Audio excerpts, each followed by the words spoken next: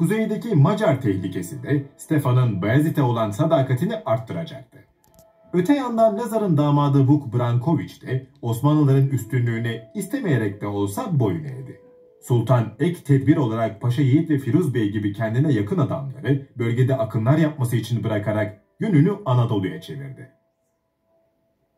Kosova Muharebesi'nden sonra Karamanoğulları etrafında birleşen Germiyan, Menteşe, Aydın, Saruhan, Teke, Hamitoğlu beylikleri ve onlara destek veren Kadı Burhanettin, Osmanlı'ya karşı düşmanca bir tavır aldılar. Elde edemeseler de Sigismund'un hedefleri arasında Türk akınlarını durdurmak, Eflak, Morove ve Bulgaristan'ı etkisi altına almak vardı. 1393'te bizzat Tuna'yı geçip Nibolu'ya vardı ve burayı aldı. Macarların bu eylemine en çok sevinen İstanbul'da sıkışıp kalan Doğu Romalılar olmuştu. Osmanlıların Çorumlu yenilgisine rağmen Rumeli'ye geçmeye yeltenmesi heveslerini kursaklarında bıraktı.